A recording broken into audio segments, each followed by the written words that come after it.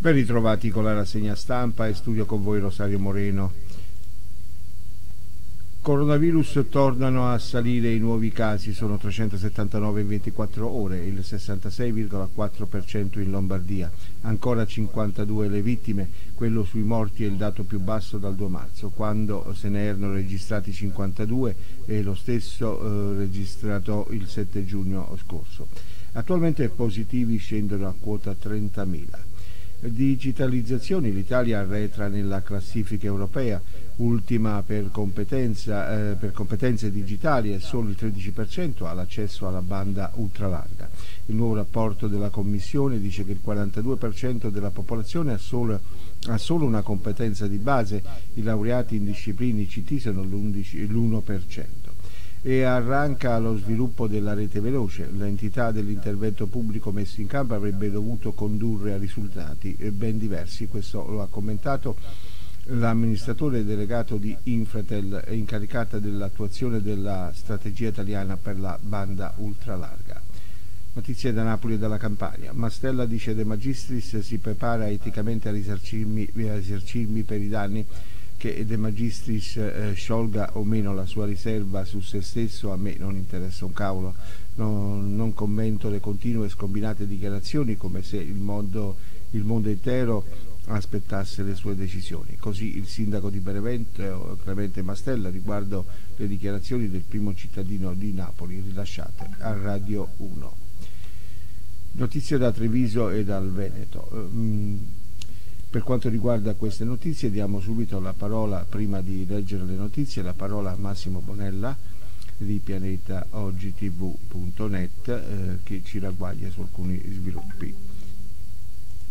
L'isola di San Servolo a Venezia riapre i suoi servizi alla cittadinanza e ai turisti che stanno tornando a visitare la città di Venezia. E le sue bellezze artistiche da sabato 13 giugno e per altri fine settimana del mese sarà aperto al pubblico il Museo della Follia ore 10-17, ingresso gratis per i ragazzi fino a 14 anni, dove sono conservati numerosi reperti appartenuti all'ospedale psichiatrico che raccontano una storia singolare e a tratti curiosa di quando la follia era reclusa e incompresa sarà possibile visitare anche la bellissima chiesa del Settecento chiamata dai veneziani Chiesa dei due, dei due Campanili. Ed è tutto Massimo Bonella, Venezia per Radio Saiuz.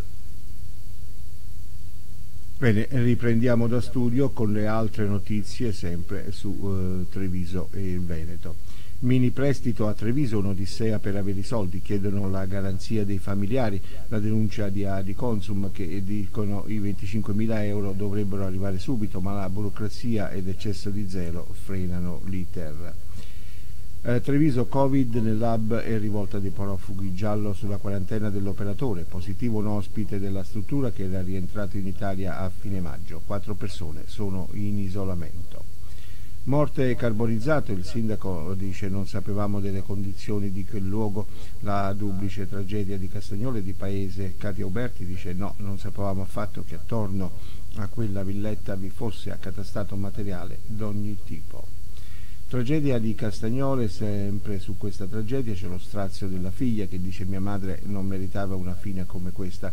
Martina Sandre, avvisata dai carabinieri, è arrivata per prima sul luogo del dramma e ha detto spero almeno che non abbia sofferto, avrei voluto poterla aiutare in qualche modo.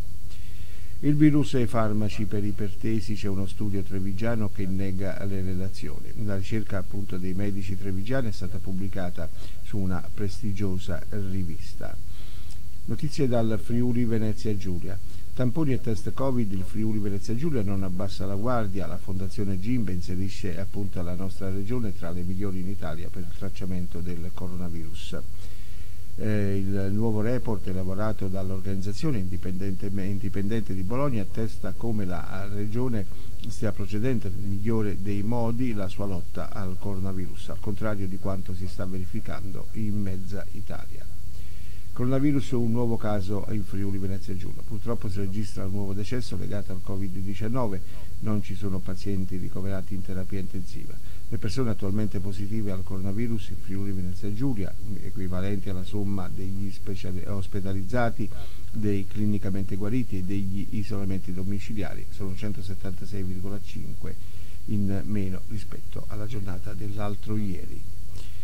Sgonico, ritrovata l'undicenne scomparsa, dare l'allarme appunto è stato ma nella mattinata presto i familiari che erano preoccupati per la sua prolungata assenza. È stata ritrovata sana e salva da una squadra di ricerca composta da tecnici del soccorso alpino e speleologico e del volontariato e dei volontari della protezione civile, la dodicenne appunto che era scomparsa da casa, eh, dalla casa dei genitori a Sales nel comune di Sgonico. Meno male che questa storia è finita bene. Bene, terminiamo oh, questa eh, rassegna stampa, cari amici, eh, nel Friuli Venezia Giulia facendovi ascoltare un servizio della nostra eh, inviata eh, nel Friuli Venezia Giulia, eh, Sabina Ciccotti. Ascoltiamoci questa interessante intervista.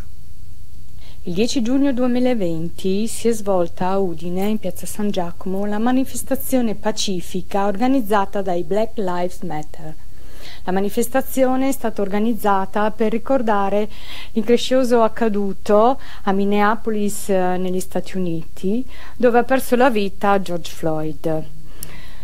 A questi eventi ho partecipato anche il gruppo Our Voice del Friuli Venezia Giulia, con noi Boccali Beatrice, rappresentante del gruppo.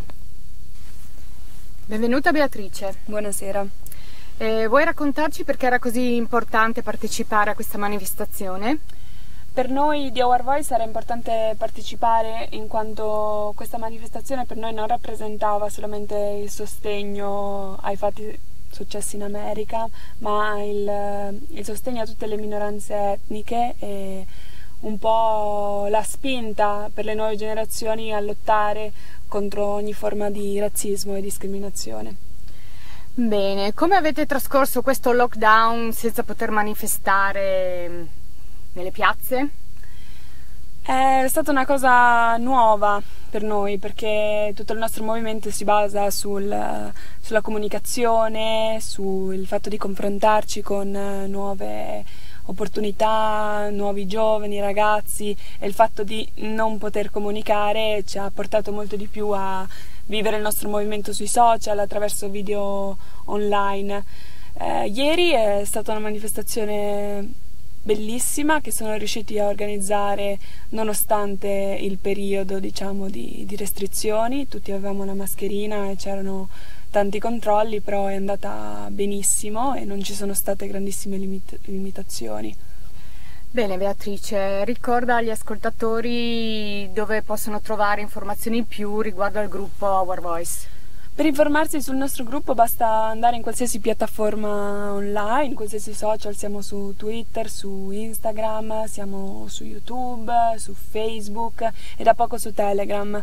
Abbiamo anche il sito ufficiale che è ourvoice.it e lì troverete tutte, tutte le info Grazie Beatrice, buona serata. È tutto da Udine, Sabrina Ciccotti, Radio Saiuz.